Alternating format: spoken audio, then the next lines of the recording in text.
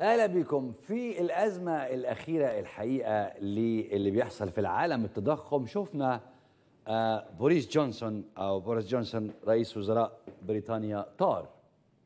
شفنا مظاهرات عارمه في سريلانكا أطاحت بالنظام كله. أيضا شفنا في الأرجنتين مظاهرات في بنما مظاهرات وكل هذه الدول لا تقل في مأساتها عن مصر. ديون فساد وساطة محسوبية. كل حاجة زي مصر. يبقى السؤال وعلى فكرة كتير من الناس والخبراء والمحللين متوقعين أنه هناك بلاد ستحدث فيها مثل هذه الأزمات زي كده ورشحوا كلهم مصر. العالم على صفيح ساخن بسبب الأزمة الاقتصادية. سقطت أنظمة سقطت حكومات الدنيا اتغيرت. حالات من الغضب بتجتاح على فكرة في بريطانيا في مظاهرات آه لا زالت بتاعة السكة الحديد. عملوها قبل كده وهيعملوها تاني. لا زالت حقيقة. لكن البلاد دي بنجد كمان إحنا بنتكلم على سريلانكا وبنما والأرجنتين فيها تشابهات كتير مع الوضع في مصر. السؤال الآن زي ما قلت لك خبراء كتير رشحوا مصر تكون نفس المصير. لكن السؤال الآن مصر إلى أين؟ إلى مصير سريلانكا ولا الجمهورية الجديدة؟ إلى مصير بنما وسريلانكا ولا آه تغيير زي ما حصل في روسيا من مصطلح الرئيس إلى مصطلح الحاكم العام. النظام المصري بيتكلم عن نمو والمواطن لا يتحمل الأعباء وحده وإن الدولة بتتحمل عنه الأعباء. فهل الواقع الاقتصادي بيؤكد ده؟ ولا إنه أوجه التشابه مع سيناريو سريلانكا بقى أقرب. الحقيقة محتاجين نفهم ده أو نفهم الوضع من أهل الاختصاص. فيشرفني يكون معايا على سكايب الأستاذ الدكتور محمود وهبة أستاذ الاقتصاد ورجل الأعمال. أستاذ محمود أهلا بحضرتك. أهلا بيك ازيك أستاذ محمد؟ وحشتنا. والله وأنت كمان. تحياتي لحضرتك. الله يكرمك يا سيدي. أستاذ محمود عشان نتكلم سريعا ما هي أوجه الشبه ما بين سريلانكا اقتصاديا ومصر وإلى أي درجة اللي حصل في سريلانكا. كما سمعنا من ناس كثيره جدا مرشح إنه قد يتكرر أنا بقول قد يتكرر في مصر. أنا هديك الإجابة من الآخر. متشابهه اقتصاديا إنما مش متشابهه سياسيا. متشائم اقتصاديا؟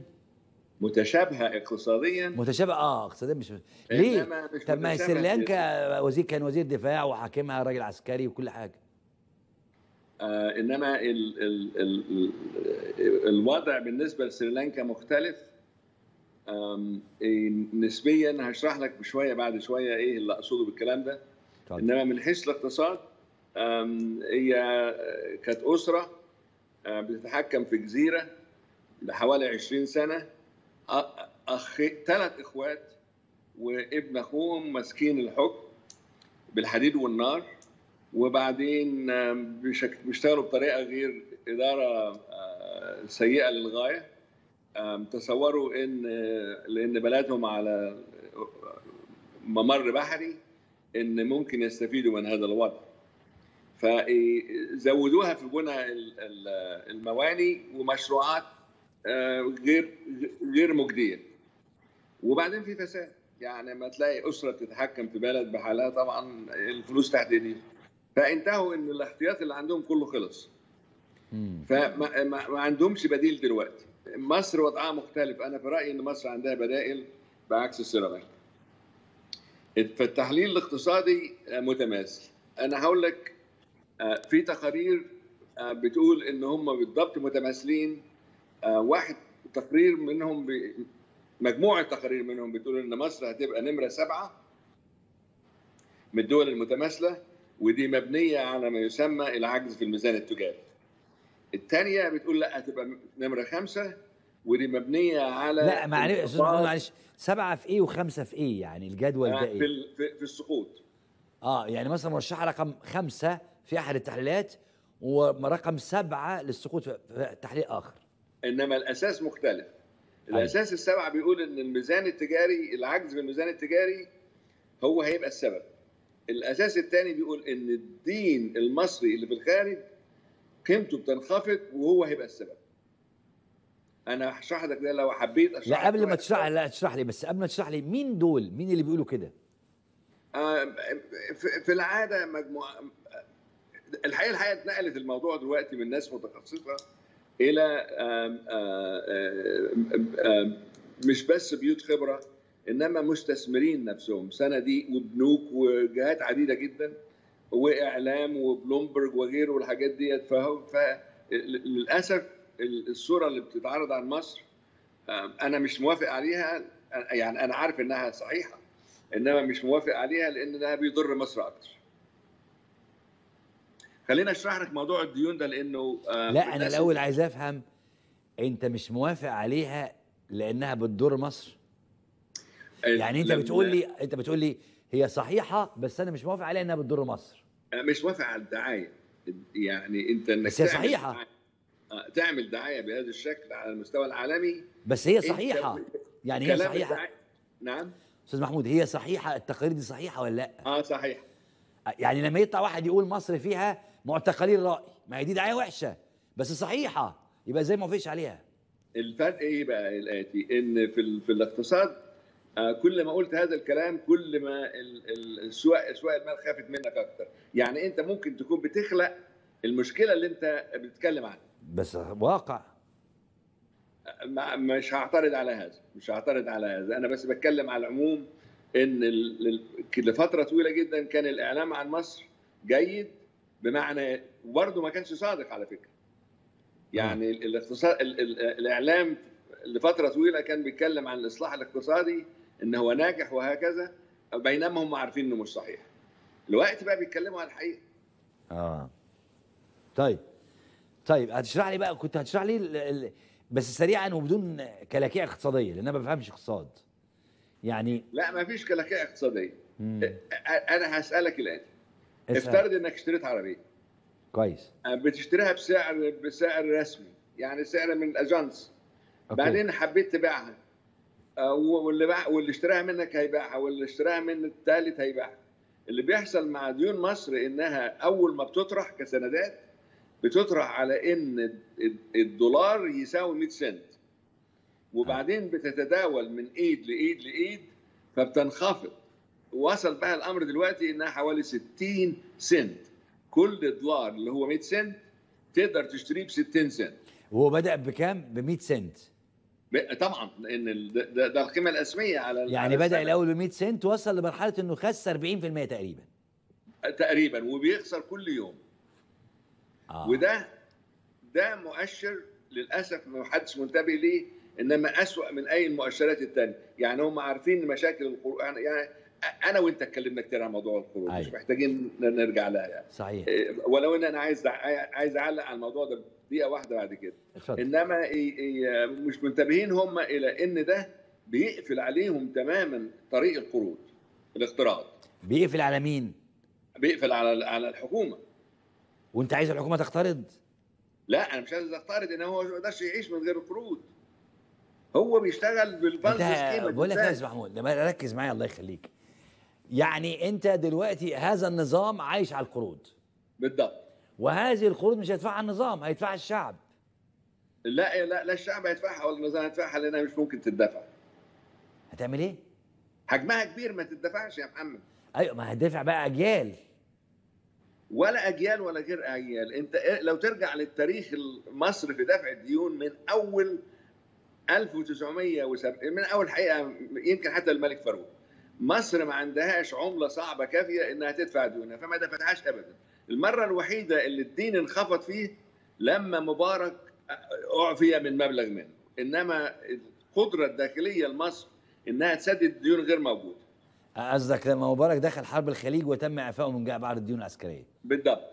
إنما إنما ما دام الدين ارتفع ما بينزلش. في تاريخ مصر كله. ليه؟ لأن عندها عجز في في في, طيب. في العملة الصعبة في طيب، في طيب. أنت بتدفع بعملة صعبة. OK. ما دام عندك في عمله صعبة مش هتدفع. طيب okay.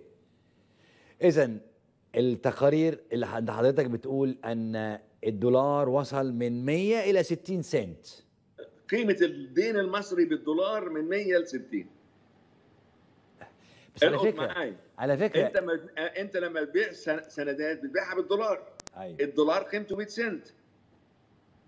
بس على فكرة نعم. الخبير هاني توفيق مع عمرو أديب قال ب 50 آم 53 الحقيقة إنما ده على أجل طويل. أنا مش عايز أخش في تفاصيل من هذا النوع. هو قال أنا أنا لا أفهم أجل طويل ولا أنا أعرف إن الأجل عند ربنا. إنما لا. هو قال إن ال- ال- ال- الصك المصري وصل ل 50% بتختلف عن من أجل قد إيه مدته قد إيه. هي فعلا 53 وبت...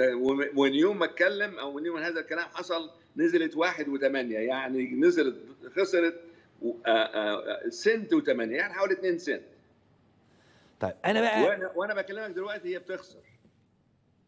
طيب أستاذ محمود أنا دلوقتي مواطن مصري مواطن مصري وشايف تضخم وشايف آه، كوارث وهو امبارح زود البنزين والسولار والمازوت والحاجات دي. هل ترى خلينا نحل بقى. يعني خليك أنت سيساوي لا قدر الله وأنا سيساوي شر بره وبعيد ونحل. هل الحل في قرض جديد من الصندوق؟ محمد باشا انت فاكر لما اتكلمنا من ثلاث سنين وانت لخبطت لنا الدنيا وخليتني اتشتمت؟ أيوه. كنا بنقول نفس الكلام ده بالضبط. بنقول انت اقترضت زيادة عن اللازم وأنا قلت كان هم بيقولوا الدين 120 وأنا قلت حوالي 180 شتموني قالوا ان أنا جاهل أيوة. وقاعد في أمريكا إيه اللي هيعرفني في مصر؟ أيوه فاهم. آه إيه إيه وقلنا وأنا قلت مرة واثنين وهقولها تاني دلوقتي. أنا ما بتكلمش كمعارض ولا بتكلم كناقد أنا بتكلم كراجل راجل فني.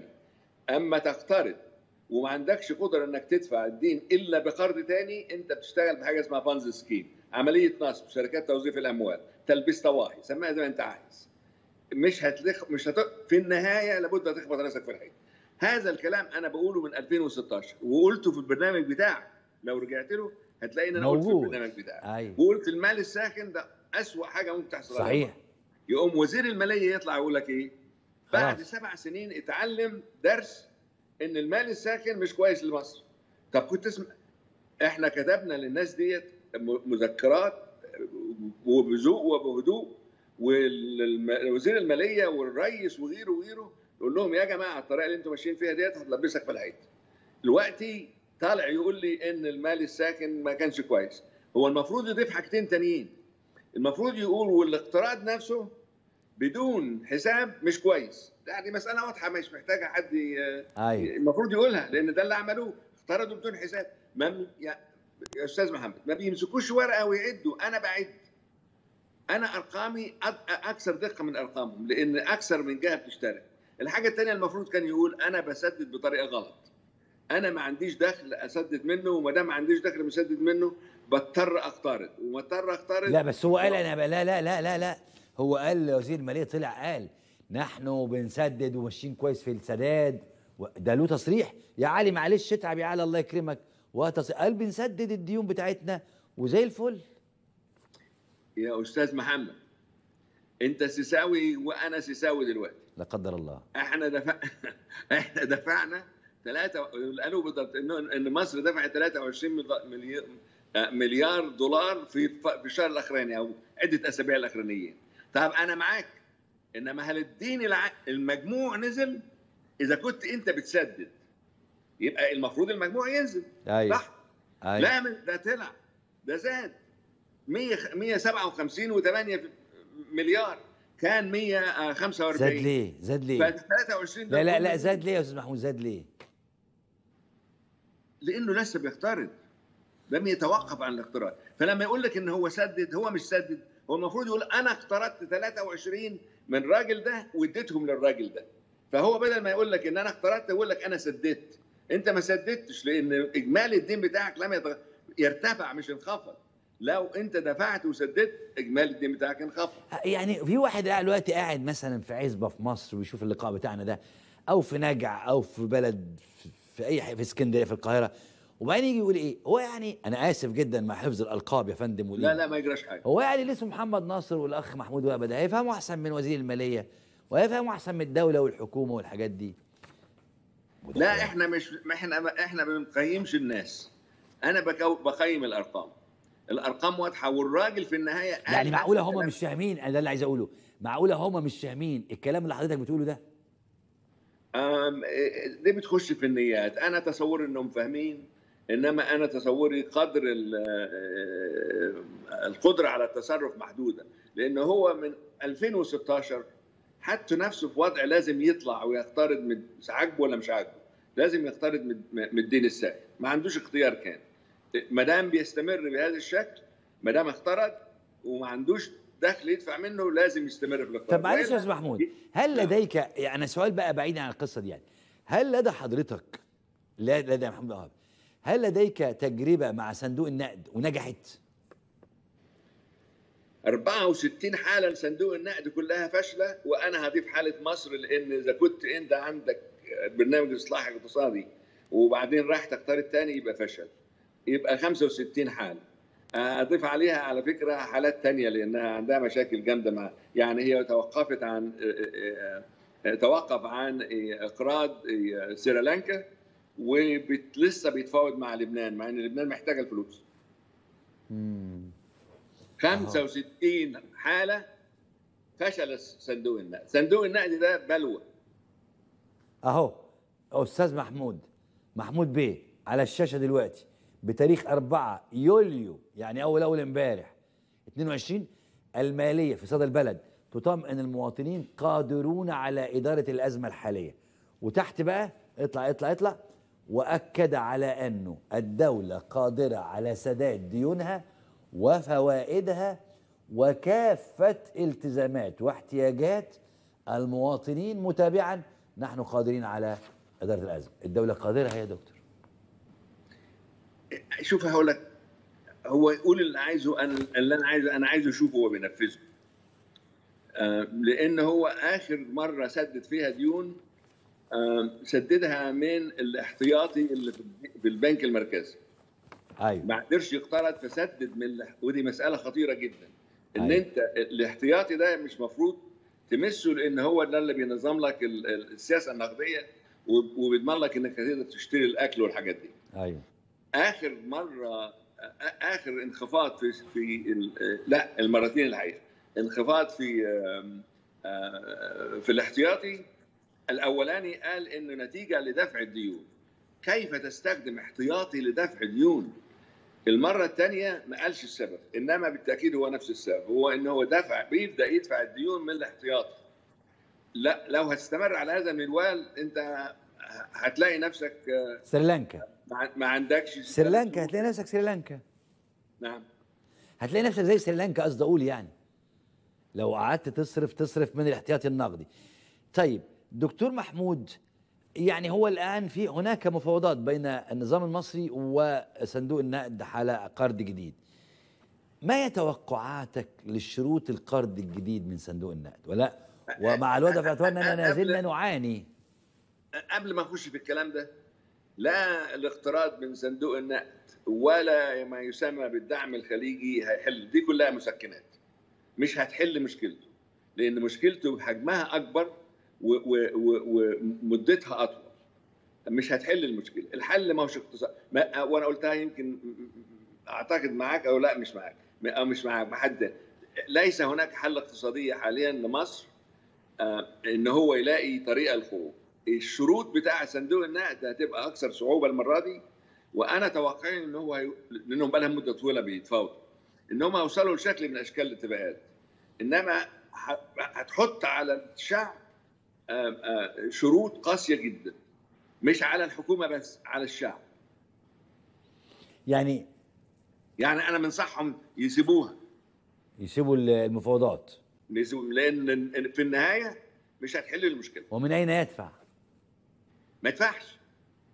انت انت انت زي ما كنت قاعد في أسرة والدخل بتاعك ما بيغطيش. هتدفع منين؟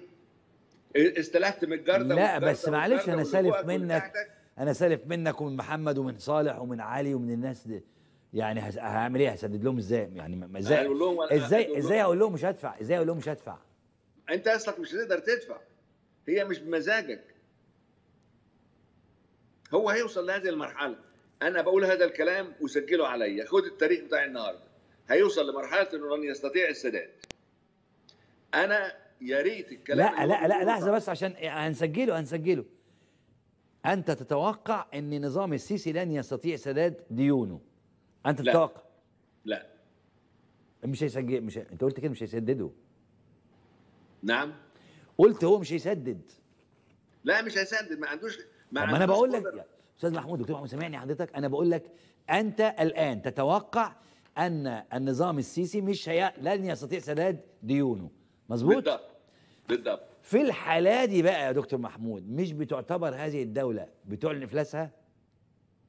آه، هي آه، هو عمليا هو في هذه المرحلة إنما آه، آه، التوقف عن السداد هو عبارة عن في القانون الدولي ما فيش حاجة اسمها إفلاس. للدول آه، يعتبر افلاس أنا النظام ده آه، آه، زي ما تقول عنيد مش هيطلع يقول لك كلمه ان أنا افلست وهيحطوا عليها آه، جميع اشكال ال- ال- ال- ال- ال- ال- الخدع والالاعيب والكلام والكلام الظريف والكلام من ده علشان آه، يغطوا عليه انما لن يستطيع السداد معنى كده افلاس آه طب هنرجع بس خلينا في الإفلاس ما هو كيف تتعامل الدول في العالم مع دولة مفلسة ولو حتى من الباطن مفلسة كده يعني؟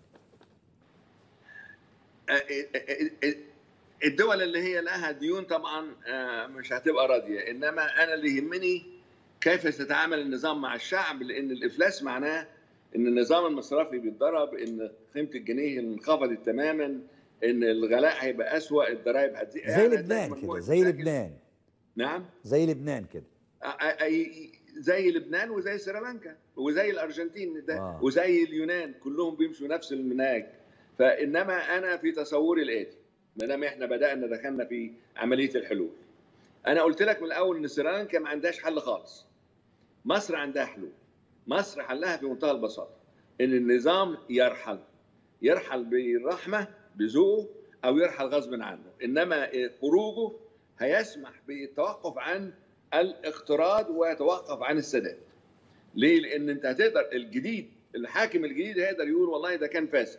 هو ما يقدرش يروح ويقول ان الدين اللي أنا خدته كان فاسد. لا نقف هنا بقى. طب نقف هنا دكتور محمود. البعض ادعى البعض بعضهم ادعى أن السيسي يملك أو بينفذ خطة شيطانية.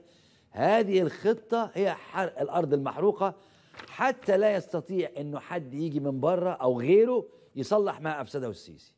يصبح ليس شوف يا سيدي أنا أنا ما بأمنش بالكلام اللي هو غيبي أنا بكلم عن أرقام قدامي والأرقام اللي قدامي بتقول إن إن إن البلد فعلا بيتم فيها آه، تخريب آه، متعمد أو غير متعمد دي مسألة نية ما أقدرش أحكم عليها. إنما أنا عايز أقول لك الاتي هو لو لو استقال أو اخيل مصر هتبقى في وضع أفضل على الأقل خمس مرات من الوضع الحالي. ليه؟ خليك معايا لو سمحت. اتفضل.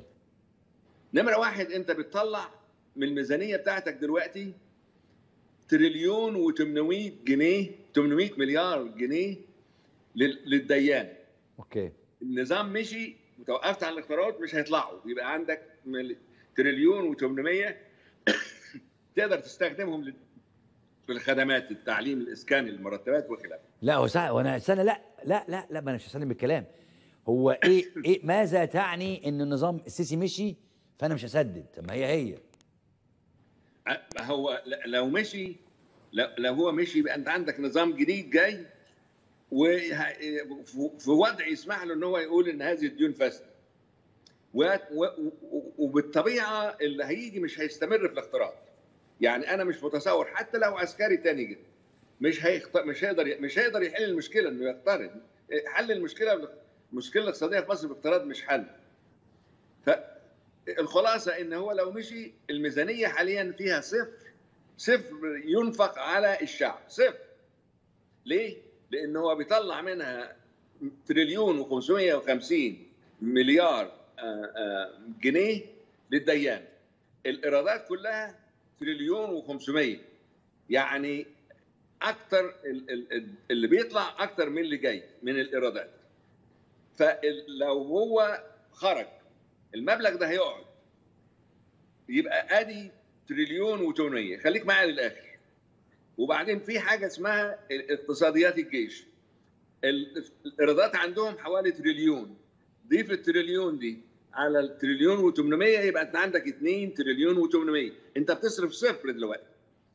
دلوقتي بتصرف صفر لأن كله بيطلع. ضيف عليها الصندوق السيادي. تريليون جنيه إيرادات ركن.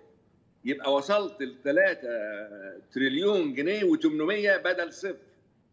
ضيف عليها الصناديق الخاصة حوالي تريليون ممكن تبقى أكتر إنما افترض إنها تريليون. يبقى وصلت ل 4 و800 4 تريليون و800 مليار جنيه موجودة في البلد.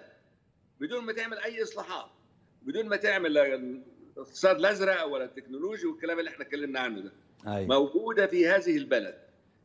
بدل ما أنت بتصرف صفر على الشعب هيبقى عندك أربعة حوالي 5 تريليون جنيه تشتغل بيهم. ده أبسط حاجة هتتم.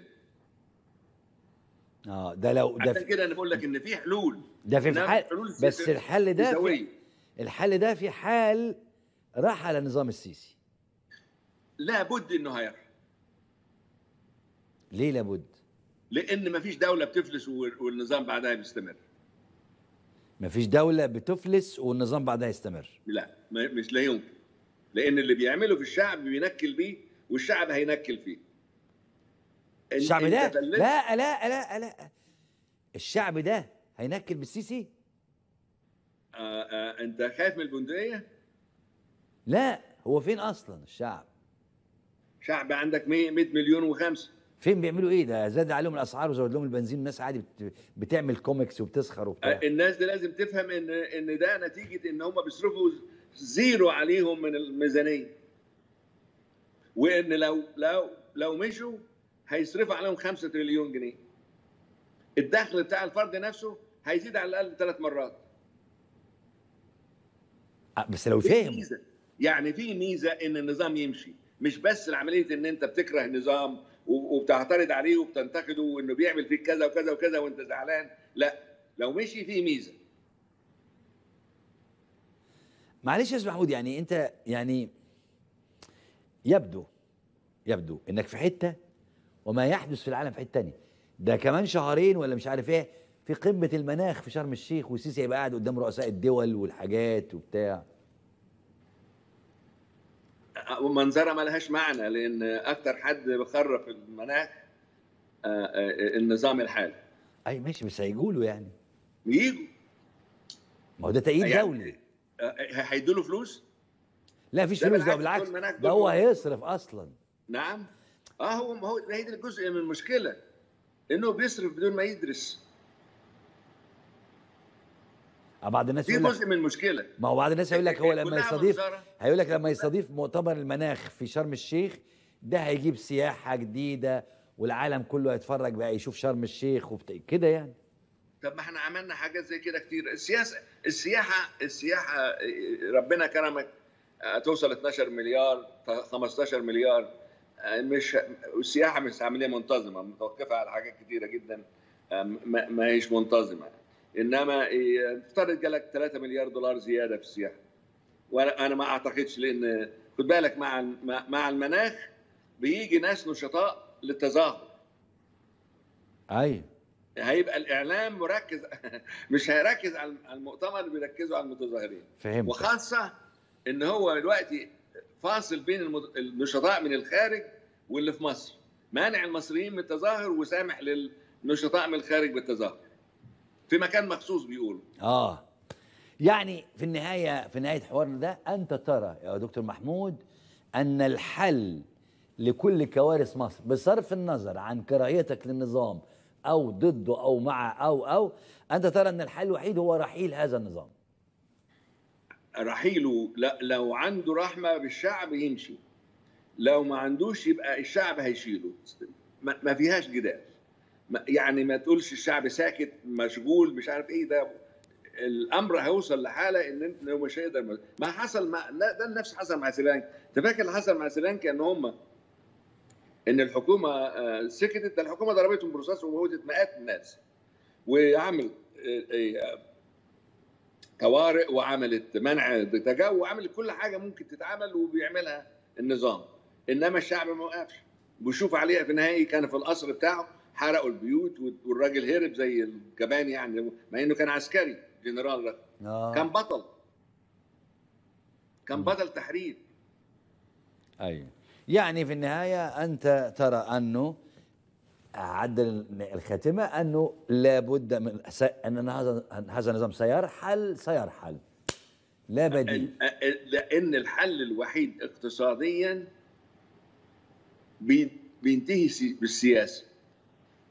أنا مش شايف حل اقتصادي الحل الوحيد ال- يبقى عمل سياسي وهو النظام يمشي ويجي حد بعده ويحول كل الميزانيات اللي هي بتطلع من مصر بتطلع من من من جيوب الشعب تروح لمجموعة يا في الجيش يا في الصندوق السيادي يا يا الصناديق الخاصة وترجع للشعب. يعني أنت يعني حتى وزير المالية قال إن أنا عندي 42% بس من بتحكم في في- فيهم في الضرائب.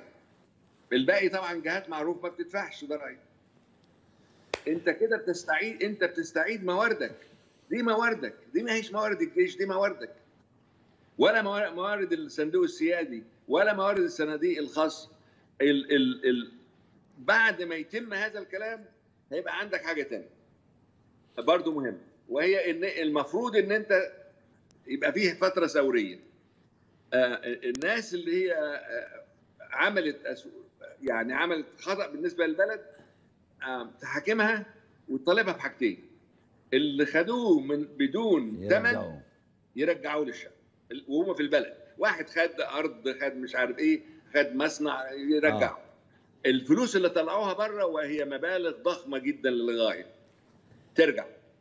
لا دي ما دي ده الجزء ده الجزء ده يا أستاذ محمود له له مجال تاني أو له مقام تاني. لكن الآن عشان بس الناس تفهم الأستاذ الدكتور محمود وهبه الخبير الاقتصادي يرى أنه لا بديل عن رحيل هذا النظام في ظل هذه الأزمات المتلاحقة التي لا حل لها في وجهة نظره وأنه النظام ده هيرحل هيرحل وأنه يرى الدكتور محمود وهبه أنه لا بد للنظام أن يرحل طواعيه وبإرادته آه، آه، بديلا عن أنه الشعب هيتحرك وسوف يطيح بهذا النظام. أنا بقى علشان من باب الأمانة لازم نقول الآتي. أنا وأنت لازم نقول الآتي.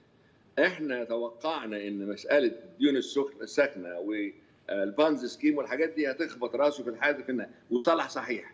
وده اللي. إحنا فيه ده دلوقتي. صحيح، إحنا ده دلوقتي صحيح. ده. أنا بعمل تنبؤ تاني دلوقتي وهو إن لو هذا النظام مشي الشع... الحالة الاقتصادية في مصر هتنتهي من صفر لخمسة. 5 تريليون. ما ده تمام. دي وصلت الفكرة. الخبير الاقتصادي ورجل الأعمال الدكتور محمود وهبة بشكرك جدا يا فندم.